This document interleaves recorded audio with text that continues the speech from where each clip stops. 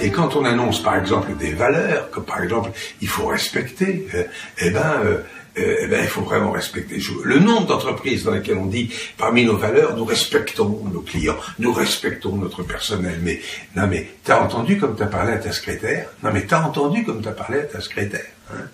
Attention, hein, il faut être cohérent entre les valeurs qu'on annonce et ce qu'on fait. Euh, on prête à Jean-Paul Sartre d'avoir dit la confiance, ça se remplit par goutte et ça se vide par litre. Donc il faut vraiment être terriblement attentif à, à vraiment vivre les valeurs qu'on annonce.